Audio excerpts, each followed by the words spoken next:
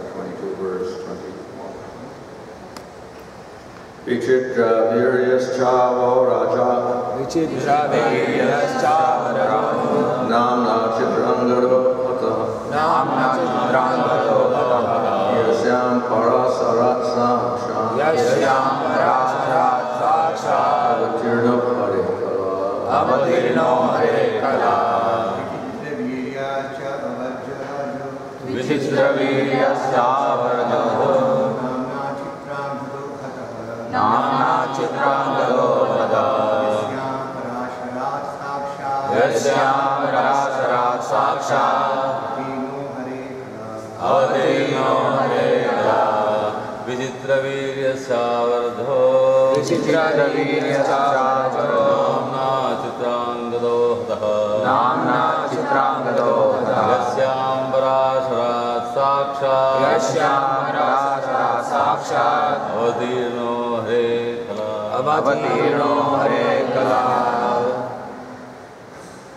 Vichitra Virya Vichitravirya. Son of Santanu Vichitravirya, the son of Santanu, and Maharaja, Maharaja, his younger brother, the younger brother, Nama, Nama, by a Gandharva named Chitrangada. by a Gandharva named Chitrangada, Uh, Chitrangada, Chitrangada, Chitrangada, was killed, was killed, Yasyam, Yasyam, in the womb of Satyavati, in the womb of Satyavati, Parasara, Parasara, by the semen of Parasara Muni. Yuvraj, Sakshat, directly, avatirna, incarnated, of the Supreme Personality of Godhead, Supreme Kala, extension.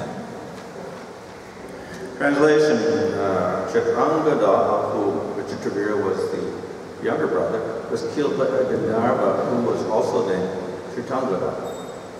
Satyavati, before her marriage to Santanu, gave birth to the master authority of the Vedas, Vyasadeva, known as Krishna Dvaipayana, who was begotten by Parasara Muni.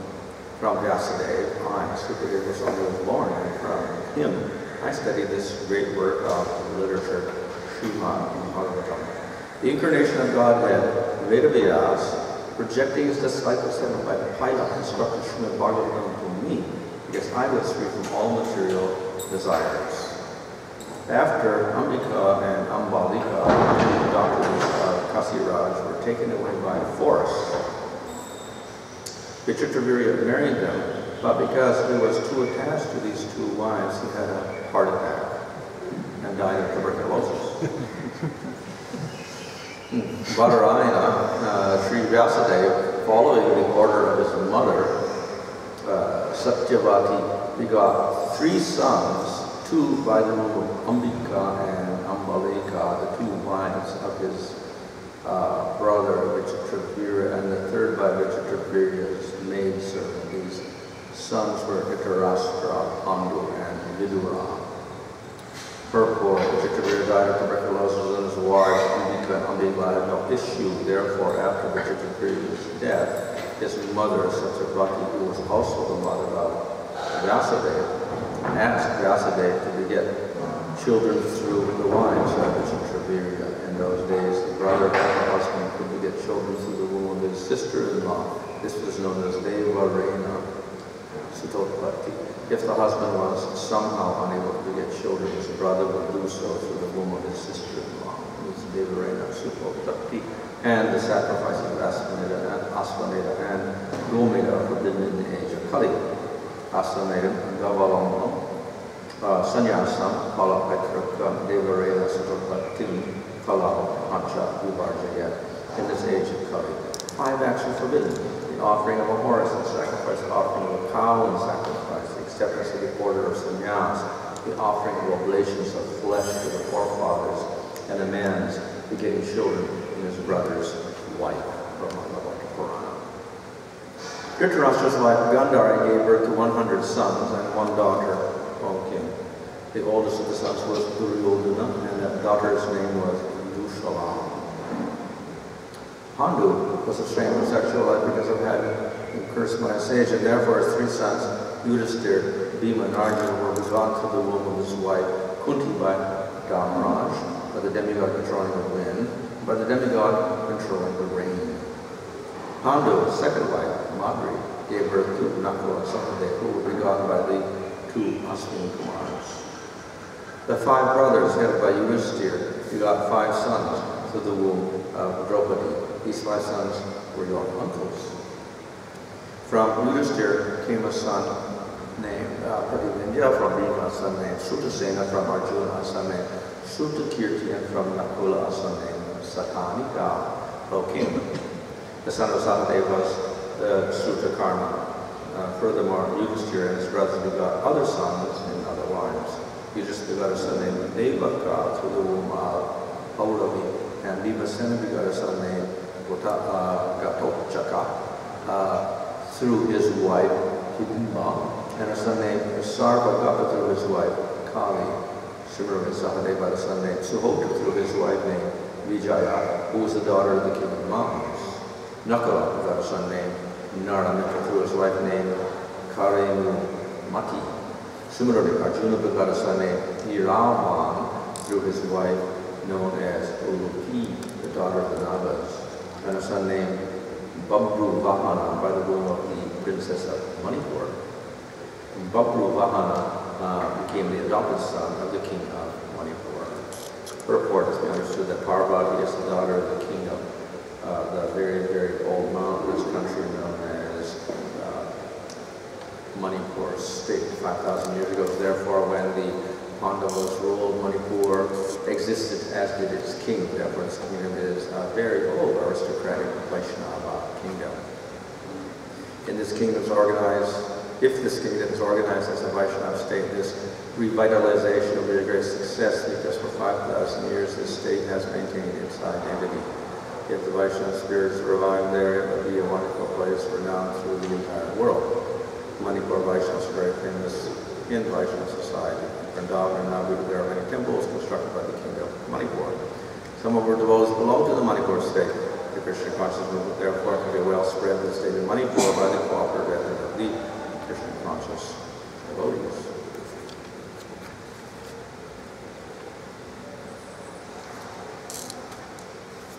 So here we have the, uh, again, the genealogies. Here we have the, uh, ultimately, the Duryodhana's brothers, and we have the Pandavas appearing. And as well, we have uh, the uh, further uh, description of others as well. Uh, so we see there's a little complication here because in the uh, the line of kings, we find Vyasadev suddenly appears uh, and he begets children uh, because his, I guess it's his brother and or stepbrother, we call him, I guess. His stepbrother was uh, had died, and therefore his queens had no offspring. So therefore, Vyasadev, who was, I guess, the stepbrother through the mother, uh, then uh, she he begot uh, sons for uh, the king. And of course, uh, two sons, of course. The third son was through Vidura, through uh, through the uh, the Sudran, Sudra servant, and that became Vidura. So though uh, it was a king's line, we find that uh, Vyasadeva somehow entered into that line also, and didn't say sanctified to some degree. Uh, but we see also that uh, the line, have persons like Duryodhana uh, and Yudhisthira appearing uh, very, very uh, contrary in nature uh, through these uh, lines. Dhritarashtra was uh, gave birth to Duryodhana, Pandu gave birth to Yudhisthira. So, but they came from the same line actually, uh, through Vyasadeva, but through these different, say, uh, attitudes or whatever of the uh, sisters, etc. So, uh, ultimately we find that Dhritarashtra was unqualified because he was blind. Uh, was very qualified, uh, but then uh, he couldn't have offspring because of the curse of the sage. And therefore, his sons were the Pandavas who were produced through the Nivatas, like Yamaraj, etc. So we have the five Pandavas uh, of that line.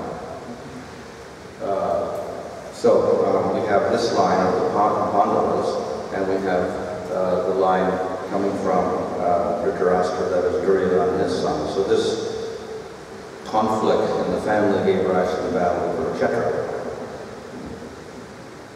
So, of course, directly it's not to do with Krishna because the Yadus were a separate line. But uh, it became a, a, great affair in the, uh, in the whole uh, country because of this uh, huge conflict where uh, different parties sided with different, uh, each side, one or the other. And of course we see that Krishna sided with the Pandavas, so the other sided with the Pandavas uh, in that battle. And, and, then finally we get the victory of Yudhisthira. So in a sense this is a, secondary story to the story of Krishna. Uh, so we don't find it related in the, directly so much in the uh, Bhagavatam. There's some reference in the first canto. Uh, but the major part of the Bhagavatam is concerning Krishna's direct pastimes, that is, uh, in Vrindavan, Mathura, and Dwarka.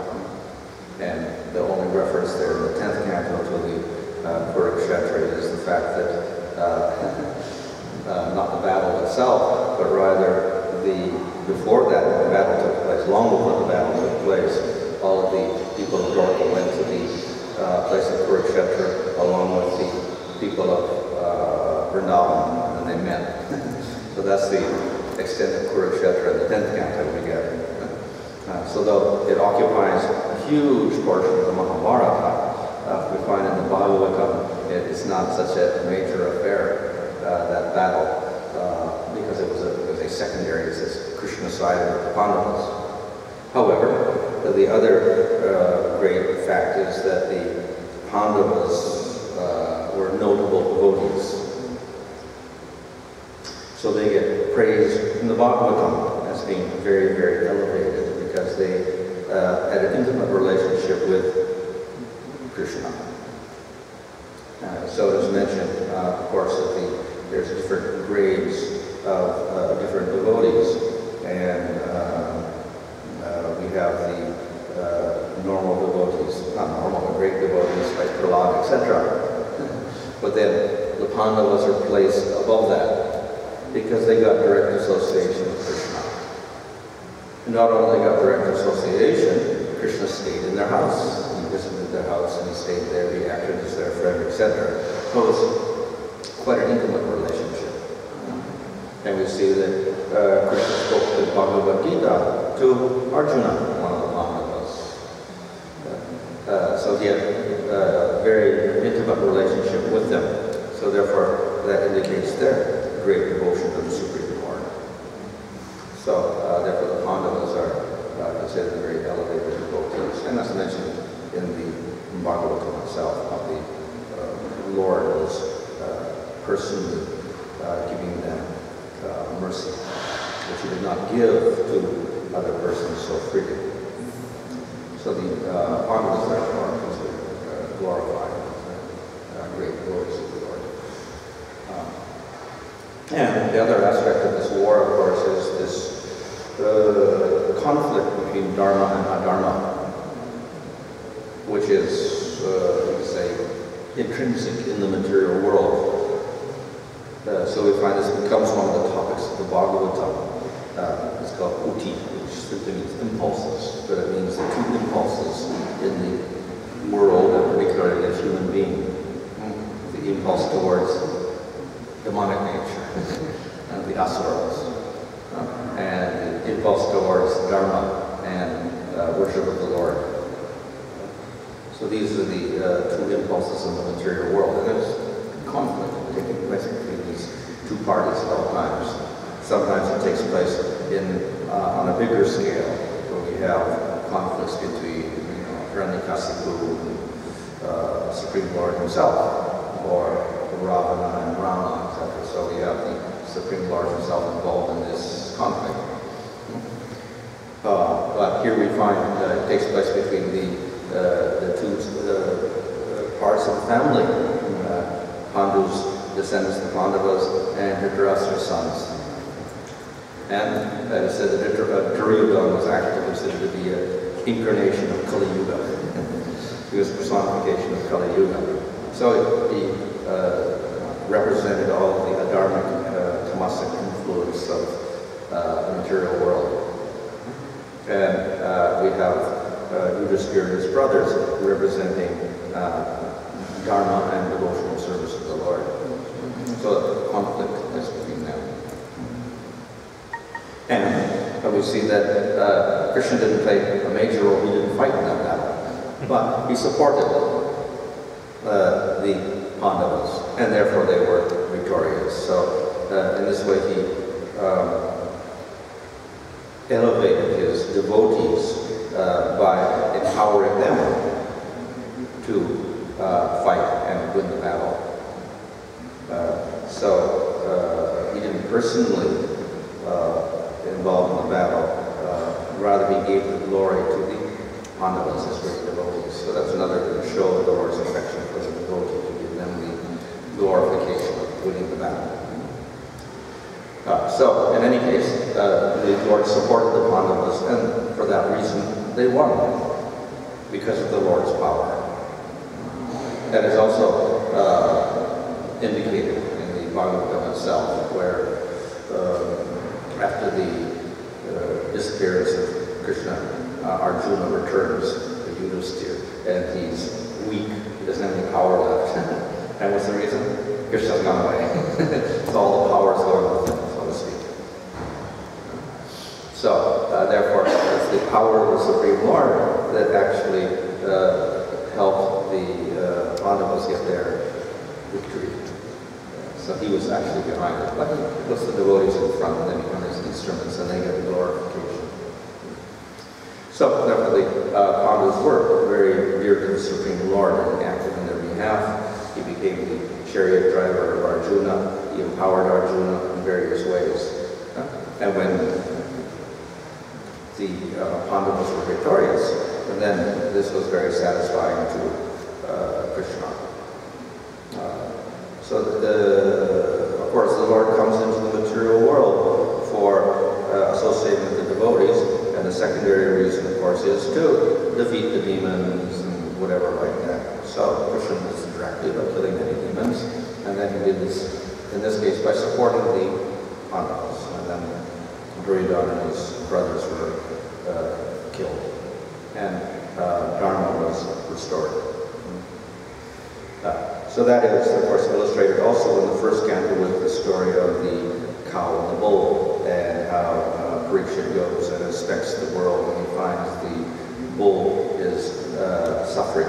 He's left on one leg, and the Sudras has broken his other legs, and the cow is crying. Uh, and then uh, Parikshit uh, restores order again. So, um, Yudhisthira restored order, but it was the end of Dwapara Yuga. So then naturally, Kali Yuga means again it gets destroyed. but as long as Parikshit was there, then uh, the Dharma was maintained properly, and the uh, let's say the four legs of Dharma were restored or protected by uh, Parikshit. But then after that, again, uh, crumble away.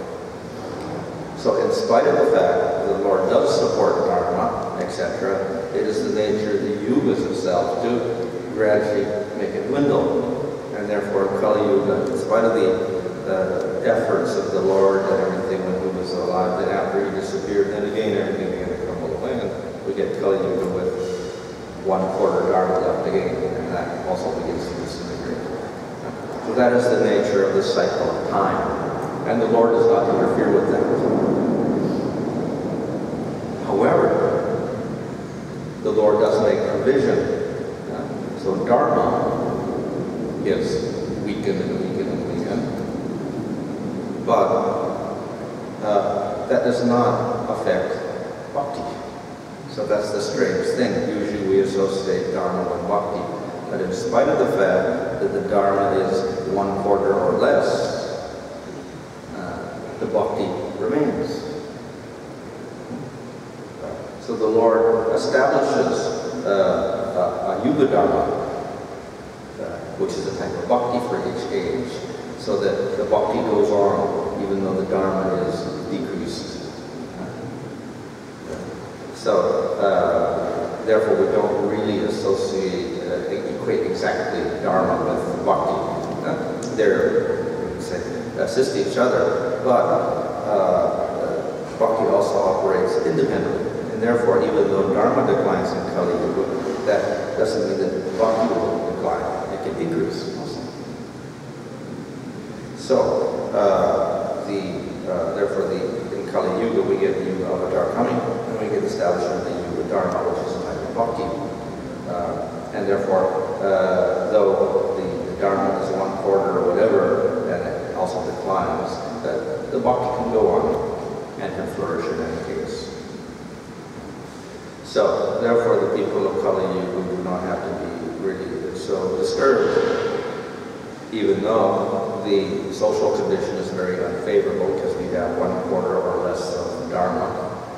Uh, because we do have a powerful process to counteract that, and that is Nam-Sankirtan. So though the uh, Dharma is less, the process is stronger.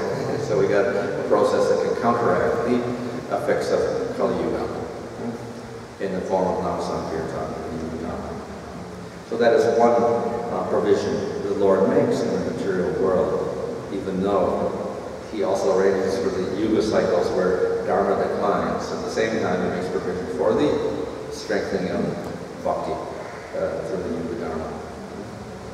And in our particular yuga, the other uh, great mercy is that uh, the Lord gives the arrangements and arrangements for the Srimad Bhagavatam.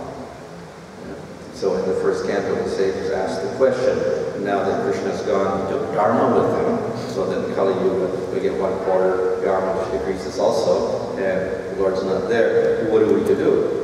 And then the answer is, Srimad Bhagavatam is risen like the sun in the darkness of Kali Yuga.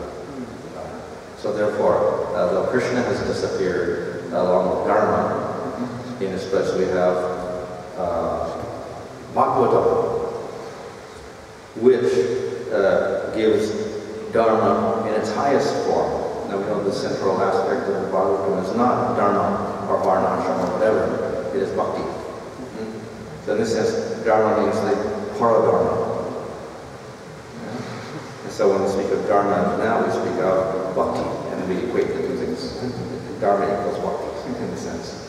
Uh, so therefore the uh, hope for Kali Yuga is the Bhagavatam. It takes the place of the uh, disappearance of Krishna along with Dharma. So Krishna himself represents Bhakti and Dharma is the secondary aspect there. And in Kali Yuga we have Bhagavatam. So we get two blessings. We get the Bhagavatam and we get the Yuga Dharma. And of course, the other blessing is we get the avatar who produces the Yuga Dharma, that is Chaitanya Mahaprabhu. so we get these three blessings uh, to compensate for the fact that uh, there is one quarter Dharma in Kali Yuga and that also was declining or whatever. So the people of Kali Yuga do not have to lament because they got this, uh, these great benedictions, which are uh, very, very uh, valuable. So it is said that uh, Lord Chaitanya gives a treasure, a great treasure, out, and he gives it freely. Uh, just as we have um, the kings have their treasure and they lock it in big storerooms with uh, bolts and doors and locks and guards and everything so no one can steal it. So uh, that's because it's very valuable. So it is said that Lord Chaitanya comes and he breaks open the locks and the doors and the bolts and everything, takes out the treasure and just gives it all away without any uh, asking any price at all. And what is that treasure? That is Krishna Prema. So this is the great treasure that uh, Chaitanya Mahaprabhu gives out in Kali Yuga. Uh, uh, even though the people, in sense, don't deserve it because they're the most fallen, uh, they don't have any dharma at all, and they don't have any bhakti. But uh, Lord Chaitanya is willing to give out Krishna Prema and to uh, give blessings even to the apparatis, etc. So that's the uh, greatest of Chaitanya Mahaprabhu. So along with that, we get the Yuga Dharma, uh, uh, the Maha Mantra Hare Krishna, a very special mantra. It's the Maha Mantra because it delivers uh, Radha Krishna Prema. And, and we get the Bhagavatam also coming out of that. So here we have Vyasadev appearing uh, in this uh, narration also, and we have Sukadev appearing. And then the first we have the narration of how Sukadev was able to uh, accept the Bhagavatam from his uh, father. And uh, what was his qualification? He became attracted to it. Uh, technically, he didn't look like he was attracted because he was a Brahmavadi, which means atmarama. Uh, more interested in Brahman, and therefore he didn't want to come out of the womb. And when he got out of the womb, left the house. He didn't even look at his father. He walked away. but then his father, Vyasadev, wanted him, uh, you know, to at least associate to some degree and give him some uh, knowledge. So therefore he sent his disciples and they began to recite the Bhagavatam. And he was sitting under a tree in Samadhi in Brahman. And when he heard the Bhagavatam, then his Samadhi broke. that shows that the atmarama, even the atmarama becomes attracted to the qualities, and activities, the Supreme Lord, such as Krishna. So, uh, this is the very special nature of the Bhagavatam. So, Vyasadeva uh, taught that Bhagavatam to Sukadev, and he preserved it and passed it on again. He passed it on to uh, Parikshit, so that's why we have the Bhagavatam now. Now so this uh, is a very big contribution because it uh, because the whole recommendation of Vedavyas uh, or to, of uh, Narada to Vedavyas was that in Kali Yuga, the suitable object of worship is Krishna, not the other forms, and not the Devatas. And the Bhagavata presents Krishna by describing his pastimes and qualities other things, uh, particularly the canto. So that's what makes it valuable. So why Krishna in Kali Yuga? Because he is the most attractive. And in Kali Yuga, the people are the most fallen. So they need, the most attractive object of worship. So Krishna is the most attractive. So it's, it's suitable that Krishna becomes the object of worship of Kali Yuga. So Bhagavad presents that, and therefore this is considered Kali Yuga, the presentation of Krishna's pastime to the Bhagavad. So, uh, therefore we have here the, all these personalities uh, leading up to the uh, presentation of uh, periods of Krishna and his pastimes in the tenth canto.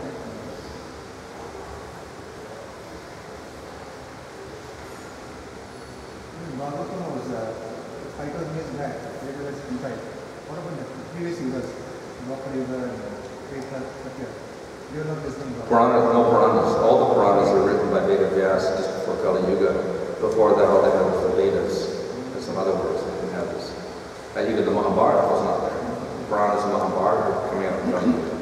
Even the Brahma Sutras are written by Veda Vyas. And the jivas in those periods, you are not, you are not aware of all this happenings in different periods. They know the Vedas, etc., and, and whatever the sages teach them, they get that knowledge. In Kali Yuga, the people are most fallen. In Kali Yuga, the people are most fallen, whereas in the next Yuga, that is the Satya Yuga, like they follow Dharma. So in between the Sandhi, like, you know, uh, what will happen to these people and how will their karma be, be carried over to the next Yuga, Maharaj? Well, that's just a transition period from the worst to the best, so they say gradually there's some improvement in that, in that Sandhi period, that's all. It's not, there's no people there, people still exist. So from the very fallen state after uh, Kalki comes and kills all the big demons, etc., uh, and then there's a little bit of a rest period, recovery period, and gradually it improves, and then something starts. Then uh, what will be the population for the next Satya Yuga? How will that be filled up? Is there anything- It's not mentioned anywhere, but uh, we would assume that due to the, the Kali Yuga, there's much less population uh, because uh, how the living conditions are so bad at the very end of Kali Yuga. Uh, no sunlight, no rain, etc. So the population itself is probably very little anyway, and then Kalki kills a lot of people also. so we say, and then